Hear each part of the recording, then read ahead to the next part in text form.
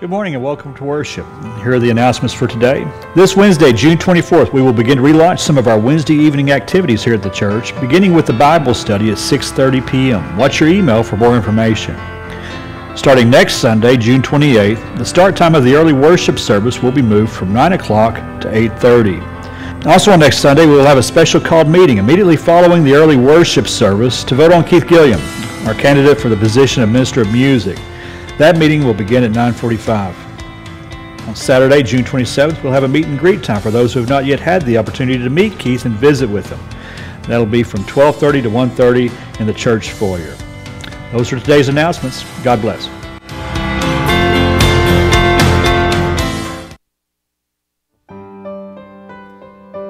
Good morning. Happy Father's Day to all our fathers out there your nice Hawaiian shirts. Let's honor our Heavenly Father this morning. Let's lift our voices in praise to Him. Let's sing. Who am I that the highest King would welcome me? I was lost, but He brought me in. Oh, His love for me. Oh, His love for me. Who the Son sets free Oh, it's free indeed. I'm a child of God. Yes, I am. Free at last, He has ransomed me. His grace runs deep. While I was a slave to sin, Jesus died for me. Yes, he died for me. Who the Son sets free, oh, is free indeed. I'm a child of God. Yes, I am. In my Father's house, there's a place for me I'm a child of God. Yes, I am. I am chosen, not forsaken. I am who you say I am. You are for me, not against me. I am who you say I am. Let's sing that again. I am chosen, not forsaken. I am who you say I am. You are for me, not against me. I am who you say I am. I am who you say I am. Who the Son sets free, who is free indeed. I'm a child of God. Yes, I am. In my Father's house there's a place for me. I'm a child of God. Yes, I am. In my Father's house, there's a place for me. I'm a child of God. Yes, I am. Amen. I am a child of God. My father is a king. He owns a cattle on a thousand hills, and he has promised that he would never forsake me and that he is faithful for all my days. Amen. I believe that this morning, and I want to praise him for that. Let's sing. Give thanks to the Lord our God and King. His love endures forever. For he is good, he is above all things. His love endures forever. Sing praise, sing praise. With a mighty hand and an outstretched arm, his love endures forever. And for the life that's been reborn, his love endures forever. Sing praise, sing praise, sing praise, sing praise. Forever God is faithful, forever God is strong, forever God is with us. Forever, forever.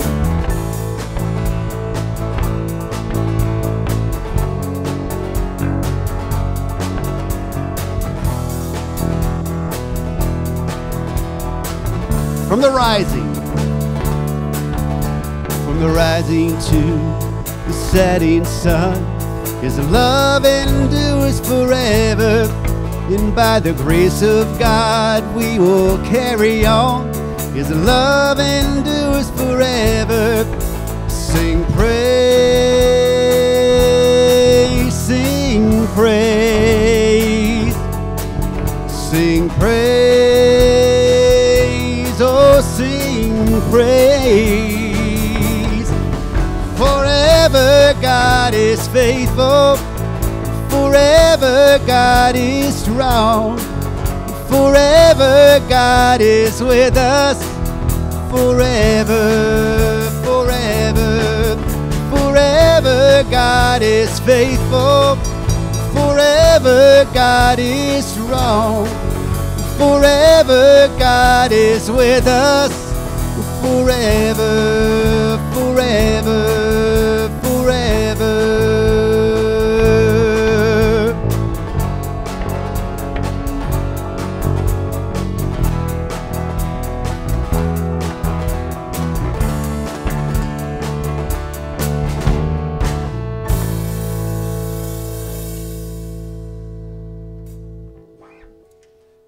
go ahead and be seated.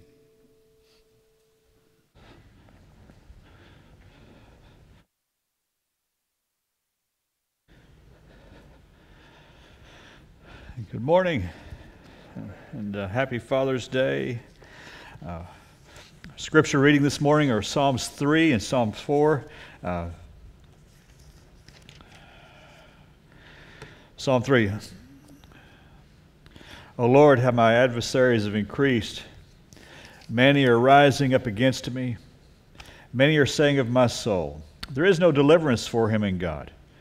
But you, O Lord, are a shield about me, my glory, and the one who lifts my head. I was crying to the Lord with my voice, and he answered me from his holy mountain. I lay down and slept, and I awoke, for the Lord sustains me. I will not be afraid of ten thousands of people who have set themselves against me round about. Arise, O Lord, save me, O my God, for you have smitten all my enemies on the cheek, you have shattered the teeth of the wicked. Salvation belongs to the Lord. Your blessing be upon your people. Psalm 4 Answer me when I call, O God, of my righteousness. You have relieved me in my distress. Be gracious to me and hear my prayer. O sons of men, how long will my honor become a reproach? How long will you love what is worthless and aim at deception? But, know, but know that the Lord has set apart the godly man for himself. The Lord hears when I call to him. Tremble and do not sin. Meditate in your heart upon your bed and be still. Offer the sacrifices of righteousness and trust in the Lord. Many are saying, Who will show us any good? Lift up the light of your countenance upon us, O Lord. You have put gladness in my heart, more than when their grain and new wine abound. In peace I will both lie down and sleep, for you alone, O Lord, make me to dwell in safety. Would you bow your heads with me?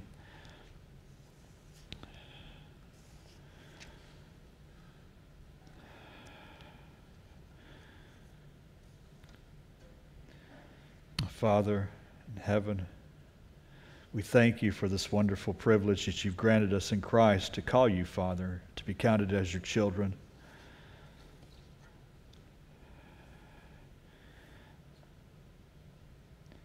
In Christ, we've been set apart for your purposes. In Christ, we're counted righteous. Because of Christ, you hear us when we call to you. We thank you, Lord, for that grace. We thank you, Lord, also for this time together to worship you as your children gathered. Pray that you would be well honored and pleased with what takes place this morning in this not just in this place, but Lord, in our hearts. As we seek to set our focus upon you and exalt you in our heart and soul and in our existence. Lord, may you be well honored.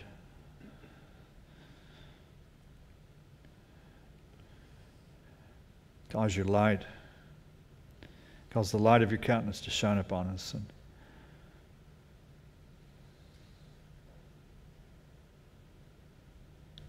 help us, Lord, as we seek to live sanctified lives for your glory. We ask this all in Christ's name. Amen.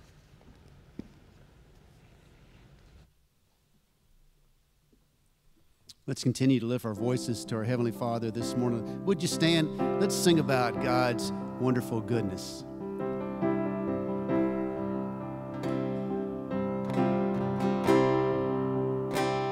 I love you, Lord. Oh, your mercies never fail. All my days I've been held in your hands. From the moment that I wake until I lay my head, I will sing of the goodness of God. All my life you have been faithful. All my life you have been so, so good. With every breath that I am able, I will sing of the goodness of God. I love your voice. You have led me through the fire and night. You were close like no other. You as a father. I've known you as a friend. And I have lived in the goodness of God. All my life you have been faithful. All my life you have been so, so. With every breath that I am able, I will sing of the goodness of God. Your goodness is running after, running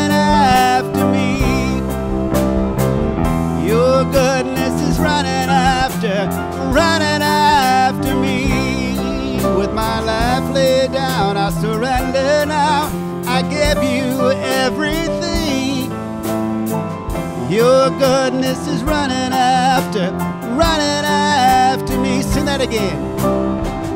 Your goodness is running after, running after me. Your goodness is running after, running after me. With my life laid down, I surrender now. I give you everything.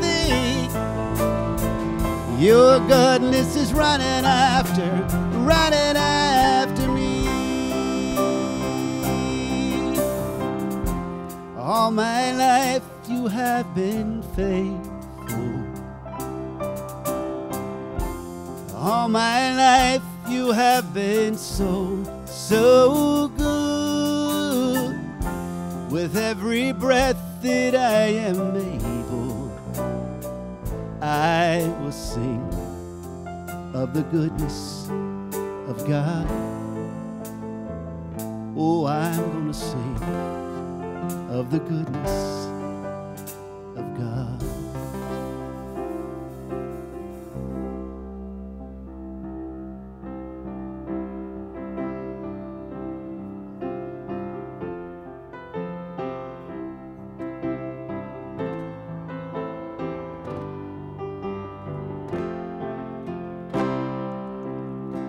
the King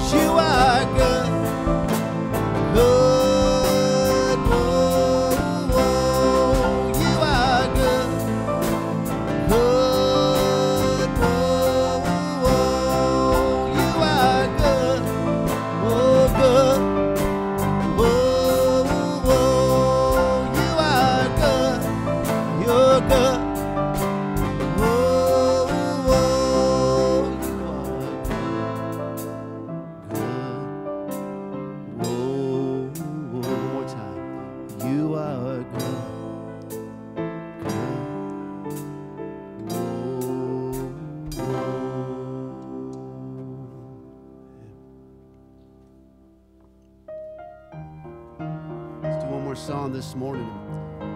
The best thing that a father could do for his child is to be in, show them the image of God and show them the love of God in everything that they do. And this song is my prayer as a father.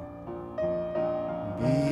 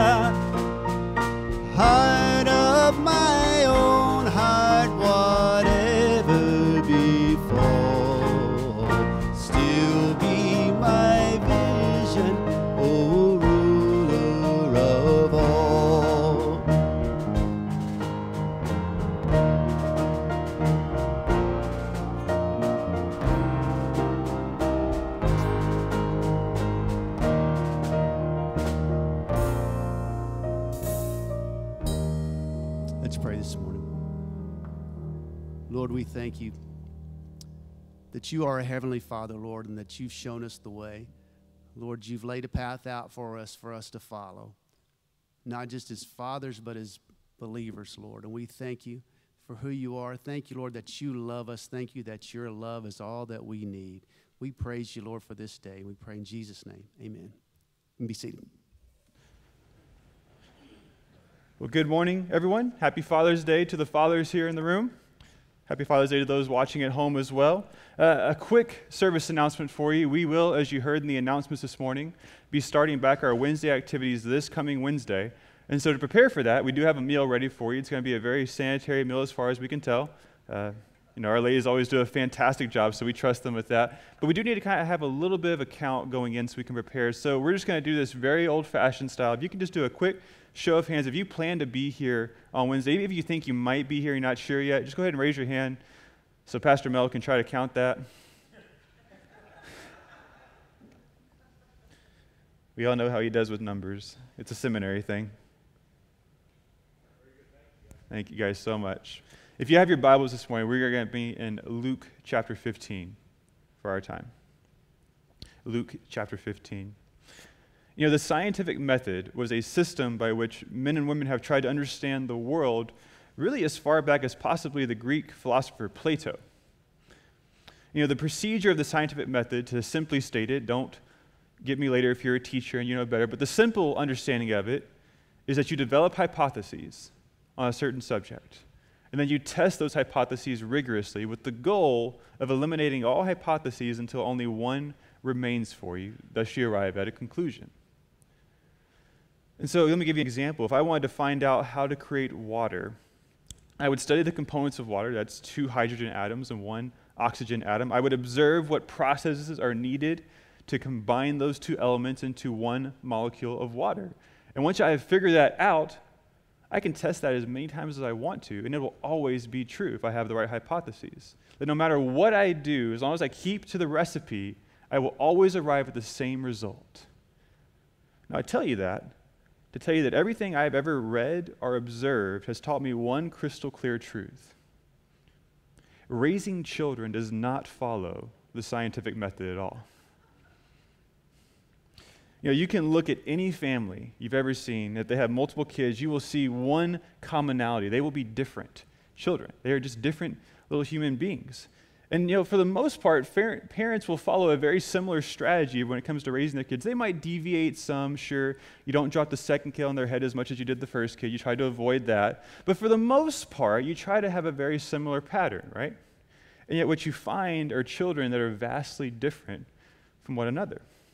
And so, in today's text, we're going to see a father who raised and instructed two sons who, as far as we can tell, were raised identically, and yet they had two incredibly different paths to walk because of that. In Luke chapter 15, we get perhaps one of Jesus' most famous parables. Perhaps you know it by the title, The Parable of the Prodigal Son. And in this story, we typically spend the majority of our time in that, looking at that son who runs away from home, makes a wreck of his life, and then comes back to be graciously received by the Father. But really, my goal for us today is to see this story through the eyes of the Father. Is to sit and learn how he masterfully handles two polar opposite personalities. Now, this parable isn't told in a vacuum, just like any parable is not. Jesus told this parable in response to a complaint levied against him from the scribes and Pharisees. Look with me back into the very first verses of Luke chapter 15, and you'll see kind of the context for our story this morning. Here's what it says for us. Now, the tax collectors and sinners were all drawing near to him, being Jesus. And the Pharisees and the scribe grumble, saying, and I always imagine it in a really funny voice, saying, ah, This man receives sinners, and he eats with them. Disgusting. That's what they say. They are so disgusted that a man who claims to be the Son of God would dare eat with such unrighteous people. And so that is the backdrop for us this morning for Jesus telling us this parable. And so now join me in verse 11, where we're going to spend the majority of our time in the actual story itself. The parable begins in verse 11 of chapter 15 by Jesus saying, There was a man who had two sons. Now, we don't know any more background information from Jesus about how this man raised his sons. We don't know if he ever spanked them or didn't spank, what camp he fell in in that. We don't know if he ever put them in timeouts.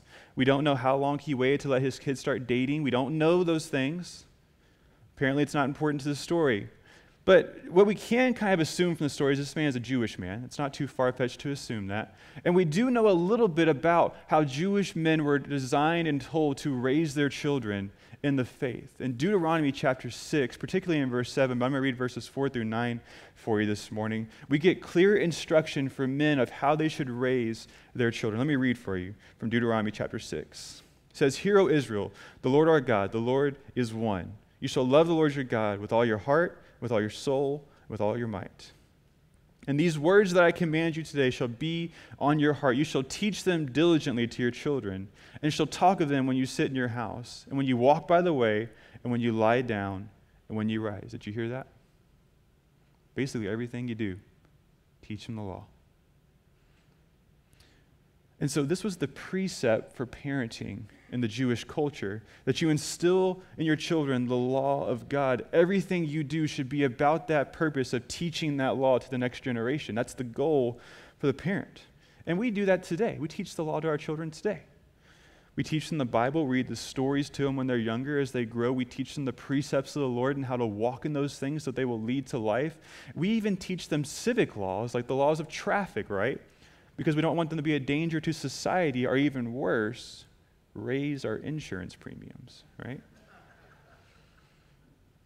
Now, it's perfectly reasonable to conclude in the story that Jesus tells this morning that this father did this for his sons. He's a good Jewish man. He probably most likely taught this very well for his sons. And yet, when you read the story, you see the sons behave so differently that you would have to assume something went very drastically different in their developments.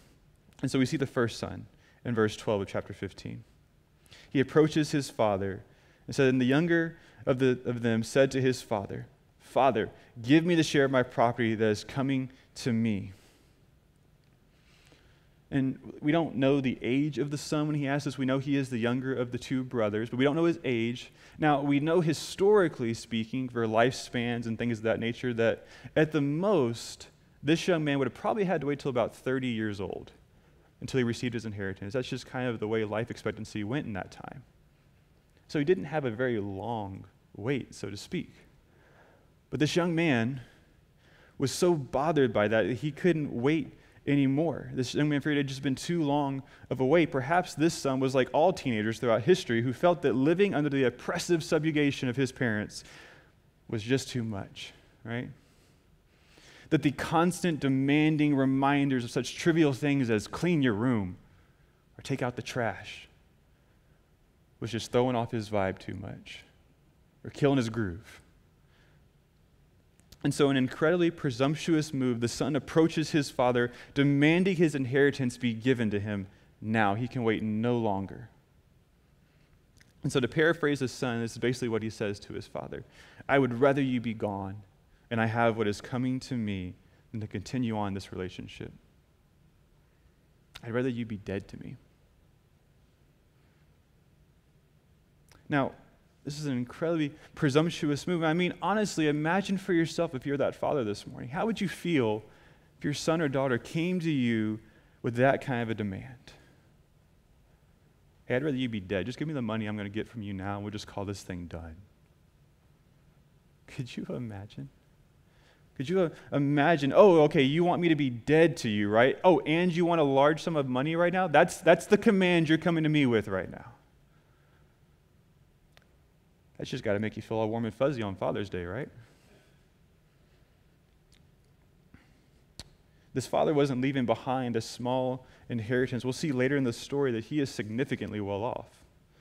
And yet, at this point, the first shocking move on the father's part occurs. Look in verse 12. Doesn't he divided his property between them? He gives them the inheritance. This incredibly arrogant, presumptuous move is met with a blessing from the father that he divides the property. Now, look back into that text there and notice that he divides his property between them. He even gives the son who's not asking for the inheritance his inheritance now. It's incredibly generous. Even the son who's not being a presumptuous little twip gets his inheritance. And what follows in this story through verses 13 through 16 is really the story we all know about the prodigal son. The son leaves his home with his newly demanded property and proceeds to, as the Bible calls it, squander it away. Now, I love that word squander there in the text. It's just a fun word in English, but in the Greek is the word diaskorpizo, which is also a fun word to say. And it carries in mind this picture for us of a farmer throwing out seed onto the ground, right? As a farmer goes and walks his field as he's tilling it, he throws the seed out there with hopes of harvest coming, right? It's just a scattering of things. And so if you can just imagine with me this morning, this son walking around this new country he's in, just throwing money around, right? You want some money over here? Here's some money over there. Here's some money over there. I'm just giving away money right now because that's how I roll. That's what he's doing. He is living his best life now, or so he thinks. Because you know how the story goes. Once everything is gone and there's no emergency fund left, as Dave Ramsey would recommend for him, a famine comes. And the economy of the land that he lived in comes to a crippling halt. It's so bad that this young Jewish man had to go feed pigs. And looking at your text there, he actually envied what the pigs got to eat. It says that he, in verse 16, that he longed to be fed with the pods that the pigs ate. And No one gave him anything. Now, I don't know if that really kind of lands on you how big of a deal that is this morning, but for a Jewish man, this is the lowest of low points you could ever go, possibly in your life. That his life got so bad, he had to work for a Gentile man, one that probably, honestly, he thought he was better than because of his faith and his background and his culture. He's working for a Gentile now. And not just working for a Gentile doing any kind of labor, he's working for a Gentile feeding pigs, the most unclean animal to a Jewish person's mind. This is emphatically low. This is beyond shameful for this young man. And it's at this point where I can't help but think that perhaps this morning you feel very much like the parent of this young man. That it's possible that in this room or watching online, that there are people you've raised your kids as best you can. And they grew up and they broke your heart and they're breaking your heart today. It's very possible that you see their pictures on social media and you see how utterly foolish their decisions are. That you've tried so hard to raise them better, and yet this is what's happened. And it breaks our hearts. It breaks my heart just thinking for our parents that have to go through that. And then we see the turnaround begin in this text. It's as if the light bulb goes off. I love in verse 17 where it says, But when he came to himself, he said, How many of my father's hired servants have more than enough bread, but I perish here with hunger? It's, like the light bulb goes off above his head. He has that one amazing idea to start turning things around. So he begins to craft this plan for how he's going to go back. He says this he says, I will say to my father, Father, I have sinned against heaven and before you. I am no longer worthy to be called your son. Treat me as one of your hired servants. And so he crafts this plan and says, Look, I'm going to go back to my father. I know he is a compassionate man. Now I'm going to go back to him. Obviously, not as a son. I forfeited that right, but I'll go back as a hired hand. Surely he'll take me back in. He's a good man. And so he starts with this crafted plan and heads back for home. It's not ideal, but it's so much better than where he is right now. And then we see the father's response and what follows. And what follows really is this young man coming to ask for forgiveness, and we just see a lavish, compassionate grace extended on this son. Look with me in verse 20 of the text this morning. It says, And he arose and came to his father. But while he was still a long way off, his father saw him, and I love this phrase, and felt compassion, and ran and embraced him and kissed him. Now, the, the first thing I want you to note in that text is who saw who on that day, right? It's the father who sees the son first. What does that imply for us this morning? It implies that that father was always looking to that horizon for his son's return. That he never gave up hope. For all we know, that father had to go out there every single day looking that horizon, hoping and wishing that his son would come home to him. We hear the stories all the time of moms who stay up late into the night waiting for their teenage sons to come home and not make foolish decisions. It's, it's almost like you can imagine that in this story. That father just looking out, hoping and praying that that son's going to walk down that road again one day. It's crazy to me because the man whom the son wished was dead is the one who kept hope alive every single day that his son would return from his foolish path. Now, the father had to have known this was going to happen, right? The father knew this was a foolish plan. It's just so obvious to me that he did, that his son had devised a foolish plan that would end in shamefulness. The same way I'm sure many of you dads have heard some of the most foolish plans come from your sons and daughters, right? That they come in with this great idea and you're like, this is going to go wrong for a thousand reasons. But you also know at times that children just need to kind of learn things the hard way. And sometimes you have to let them go and make that mistake in order that they can learn for themselves. That's what the Father did here, I think, in so many ways. He allowed his Son, against his better wisdom, to go with hope that one day that light bulb would click in his son's head and he would come back home. The father waited each day for his son to come to his senses, and today was that day for the father. And when he saw him, it said in the text that he ran to him. Now, this part may not land on us as it would the first century Jewish crowd, but let me just let you know in that culture, men didn't run for anything. That the Jewish men had a very dignified way of walking. They would walk at a certain pace to show their maturity, their dignity. To run around was shameful. Little kids run around, grown men don't run. And so, for this man to take off running for his father, or running for his son, rather, was shameful for that father. The father, probably in the middle of the day, for the whole town to see, takes off running towards his son. Now, mind you, the son who had already humiliated him once, embarrassed him in front of his peers and he runs to that son and he embraces him in his arm. And the son I love, he tries to get out his rehearsed speech in the text and tries to ask for the job, but the father doesn't allow it. Look back into your text there. In verse 21, it said, And the son said to him, Father, I have sinned against heaven and before you. I am no longer worthy to be called your son. The father's just like, Shush Bring quickly the best robe and put it on him, and put a, finger, a ring on his hand and shoes on his feet. He doesn't even let him get the words out.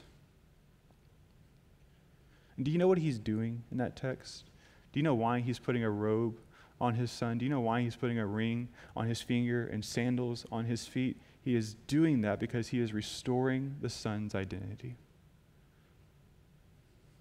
The son had run off and run so hard into the ground that he forgot who he was to the father. And the father would have nothing less than a son come back home with him. He wasn't out there every day looking for a servant to bring into his house. No, he was looking for a son to come home with him.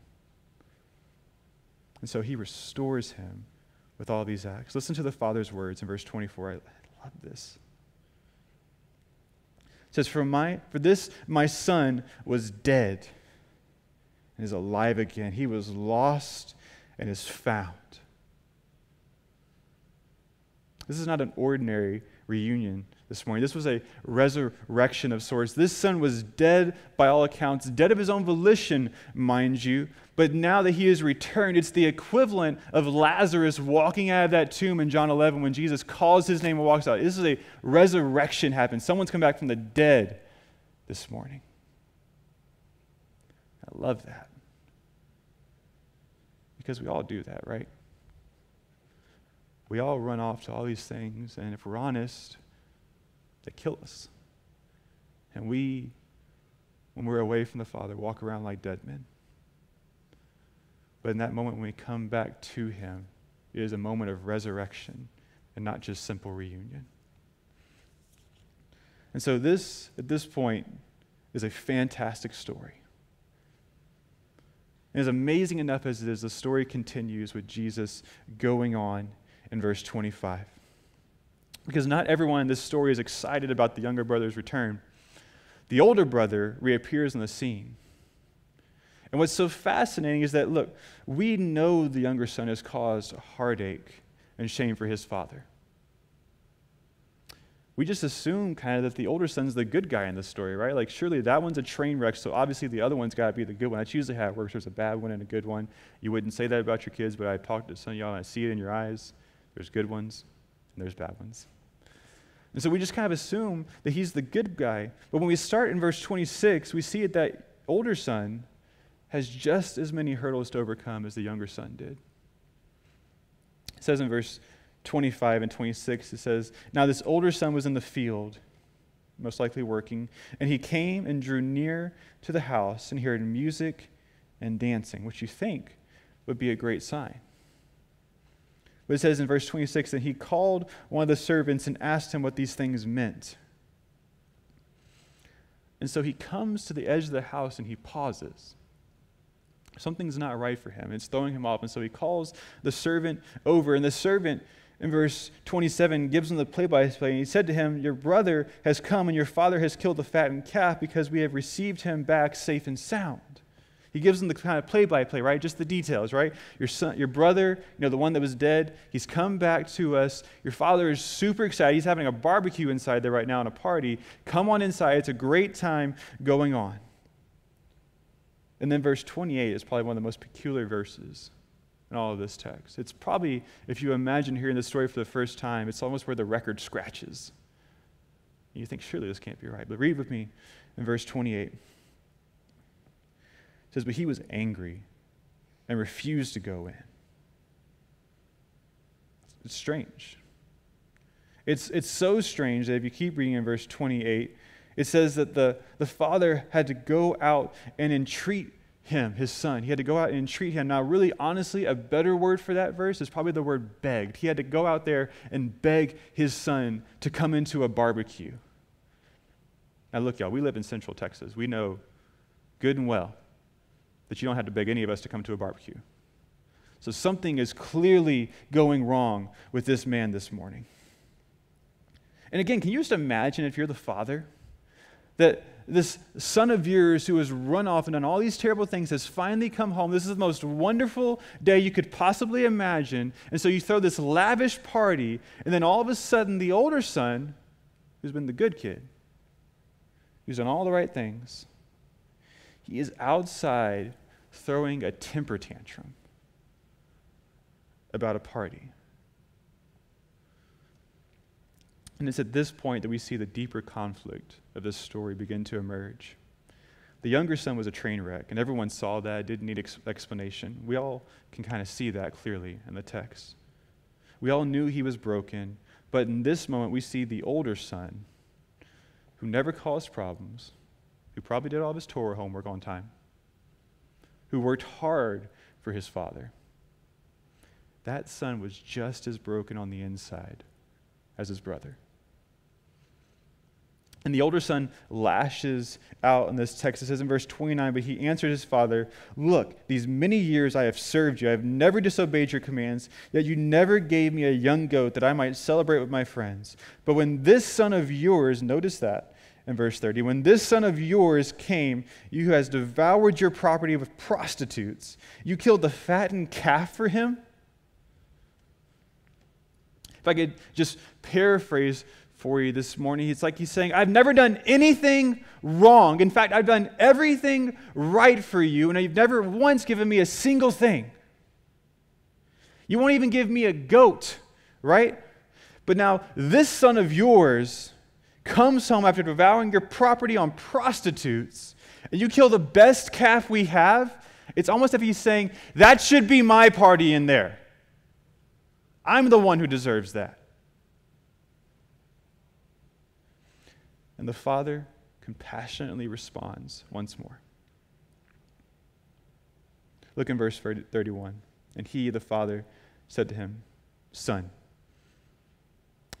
which is a great word, you are always with me, and all that is mine is yours. It was fitting to celebrate and be glad, for this your brother, notice that, this your brother, was dead and is alive. He was lost, he's found. The father compassionately responds, and I want you to really notice there how he responds to his son's complaint. It's actually a very similar response. There's a lot of parallels in the response between the younger son and the older son because it all boils down to the word identity. That the younger son comes from a broken mess, and the father must remind him of his identity. And the older son comes home full of self righteous anger, and the father must remind him of his identity. But not just his identity in relationship to the father. You are my son. But that's also your brother. And so remember, you are my son, and this is your brother. We are family. And when family wins, we all win. And today we've won. You know, when I what I love is that the text, as Jesus tells the story, is left in a tension point for us this morning. We don't know how the brother responds. It's kind of left up to us. That's kind of the point of parables many times, is that it's not so much the story's response, it's our response. And when I think about this story, there's many things that kind of stick out to me. One of the most amazing things is the example of love and compassion radiating from the Father. And if I could just sum up this parable for you in one sentence this morning, it would be this Good fathers love their children enough to change them both on the surface and at the heart. Let me say it for you one more time, because it's worth hearing. Good fathers love their children enough to change them from both the surface and the heart. We see in the story two sons one who has all the signs of terrible behavior on the outside, right? The younger son, who has been terribly insulting to his father, who's made deplorable decisions with all of his ideas in his life. And that's a problem, right? We should care about how our children act and seek to encourage good behavior in them. That's a good biblical thing for us to do. But in the older son, we see a much more deceptive evil lurking beneath the surface. In the heart of the older son, we see a heart that seeks to justify itself, a heart that thinks it's good and really, really believes in its heart how good it is. A heart that has led to a pretty arrogant response this morning. And here's a truth for you, fathers. If we only care about the behavioral modification as a parent, we can easily find ourselves looking into the eyes of children who are just like the older brother. Because to just deal with the surface issues of life is to constantly avoid the deeper heart issues of our children. We know the younger brother was had a twisted heart, but we can often miss the twisted heart of the older brother because he hides it well under a thin veneer of good behavior. And this father would have none of it in this parable. And so he fixes it and he does it with identity. Remember, he tells the younger son, who has forfeited the right to be called a son, that he will extend grace and allow him to be a part of the family again. But for the older son, the father crushes his pride by reminding him that there is nothing he has done that has made him his father's son. The young man didn't force his way into that family before conception. It's not scientifically possible if you were wondering is a gift to be born into that family. And it's a privilege, and he has to remind him of the equal footing he has with the brother whom he despises. Yeah, you're one. This older brother, as good on the outside as he was, has missed the thing the younger brother has learned that real change happens at a heart level. And you know how we know in the story that heart change is happening? We see it by proximity to the Father. That a broken, twisted heart will always avoid the Father.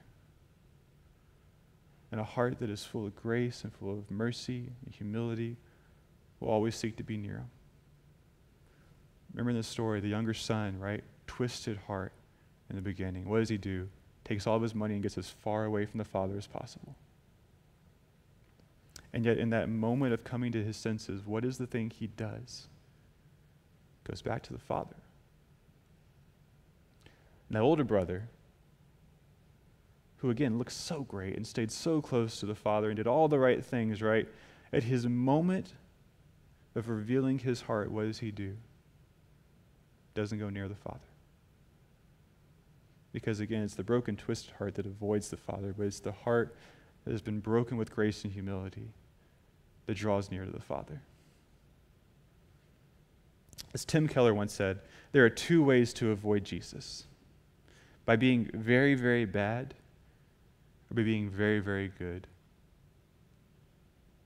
You know, we can easily spot the very, very bad kids, but it's much harder to spot the very, very good ones. Now, hear me. I'm not saying that we should totally neglect teaching good behavior to our kids. I am definitely encouraging in that. Teach good behavior in your children. It's good for them to have good manners. It's good for them to be productive. It's good for them to get good grades.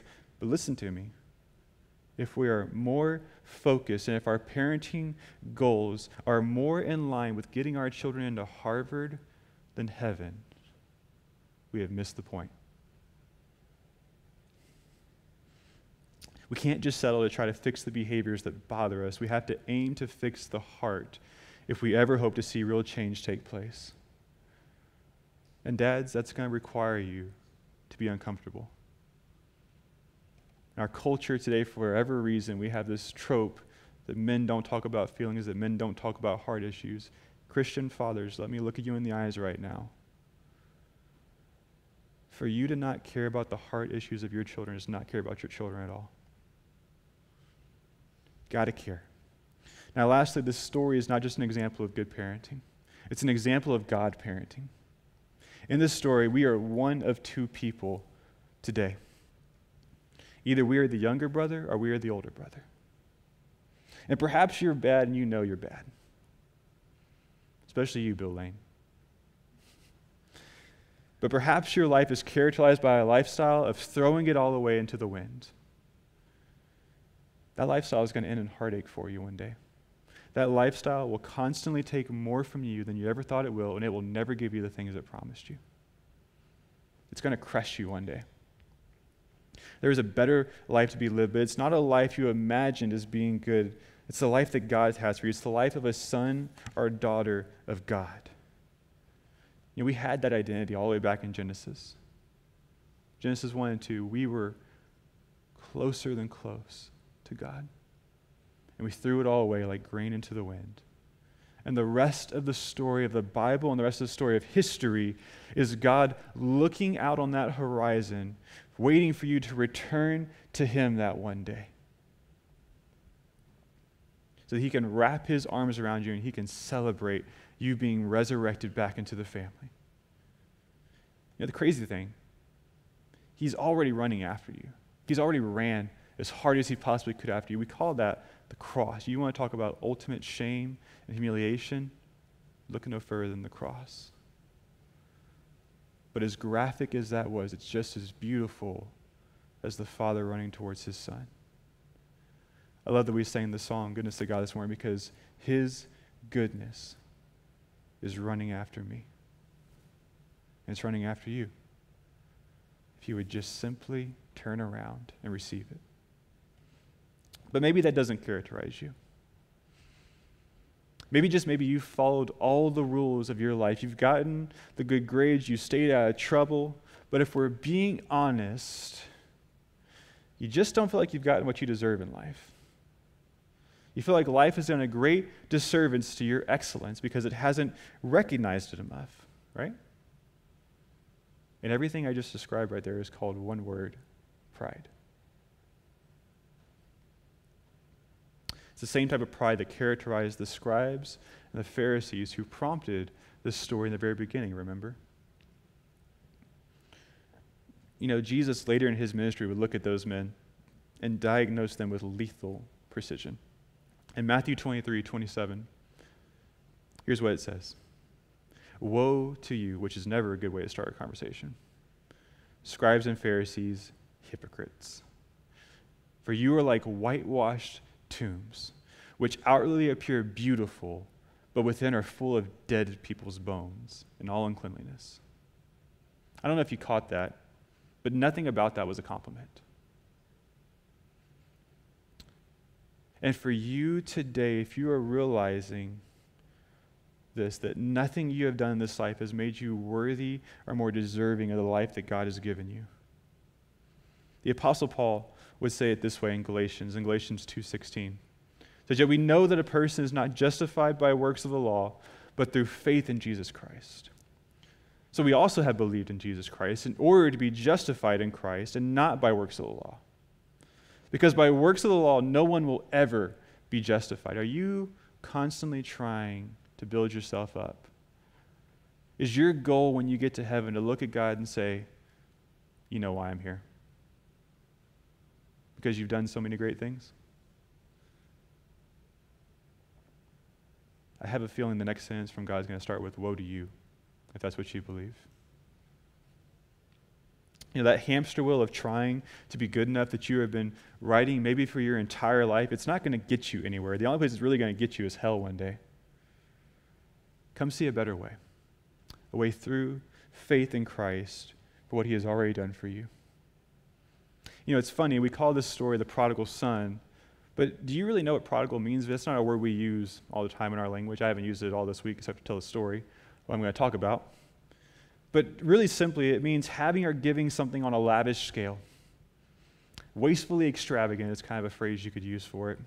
Now, certainly the son in this story fits wasteful extravagance. But do you know who truly was the prodigal one in this story? It's the father. That father lavishly extended grace and compassion to that son who was so undeserving of it. He heaped on the blessings to him in a way that is so hard to even fathom. Now, as great as the Father is in this story, he's just a, a pale, pale reflection of the God we talk about this morning, whose lavish grace looked like this that he sent his Son on your behalf. He didn't even send a fattened calf, he sent the Son, he sent the jewel of all of eternity in your place. That is a prodigal. And so this morning, we're going to pray now as the band comes back up. I'm going to invite you to a time of prayer. I'm just going to be quiet for a few moments here. And here's what I want you to do. If you're a father in this room, my prayer for you all week is that I make you uncomfortable today. Because when we're uncomfortable, we can step into moments of faith and see God move in our lives. And so I'm praying for you all week that you would be bothered by this sermon because I hope that it would compel you to a greater love for your children. Do you know the first understanding of God your children are going to have? It's by what you do. That you're that first massive authority figure in their life, and how you relate to them is going to reflect how they're going to relate to God. So, how are you doing? That's a big burden. It's not easy being a dad but it is a beautiful challenge. And so let's pray now. Their heads bowed, their eyes closed. And again, I'm just going to give you some time to seek the Lord in your own heart because maybe you are one of these brothers this morning. And maybe you've realized today that I've either been a train wreck or I've been a hardened heart hidden behind veneer. And today, something's got to change for you. Because whichever one of those paths you're on, if it doesn't turn around, it's leading towards hell.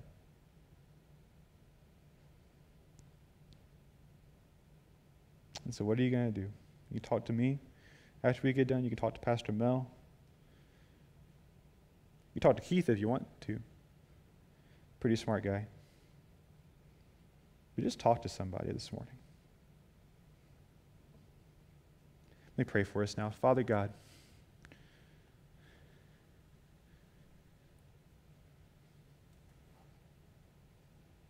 of all the things I love to call you, Father is number one.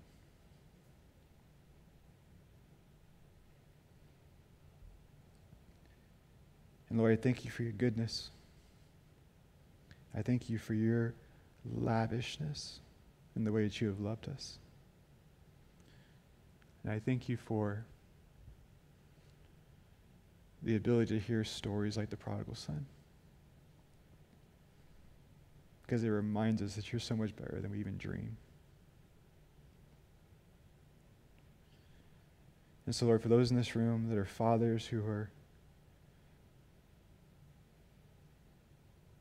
thinking back on their years of being fathers, and maybe even kind of taking inventory right now, Lord, I pray that you would speak truth into them, but you would do it as you always do. You'd speak it truth and love. That you would say, yeah, maybe you've fallen down here, but here's the truth. You can get back up and be better today. God, for those of us that are in this room that are dealing with who we are in that story, and again, we only get two options. Lord, let the truth of our life be that we draw near to you. So, Lord, we love you. We praise you. It's in Jesus' name we pray. Amen. Thank you, Matthew. Appreciate that. You know, you're always kind of skeptical when, when somebody who's not a father starts telling you about being a father. But uh, I got to say, brother, you nailed it. And uh, as, uh, as me being a father, you really spoke to my heart, and I really appreciate that this morning. I thought he did a great job this morning. Uh, hey, before we before we leave, we're going to sing a, a, a, song here, a chorus of a song.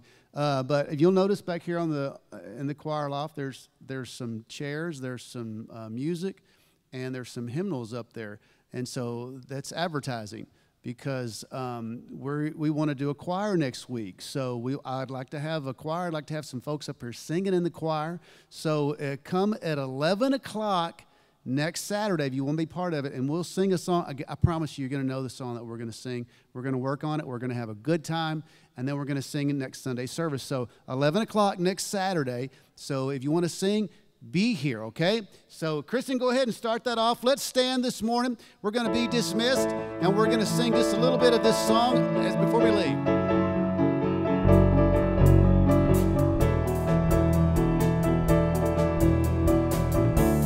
Give thanks to the Lord. Give thanks to the Lord, our God and King. His love endures forever. For he is good, he is above all things. His love endures forever. Sing praise, sing praise with a mighty hand, with a mighty hand and an outstretched arm. His love endures forever. And for the life that's been reborn, His love endures forever. Sing praise, sing praise, sing praise, sing praise, sing praise.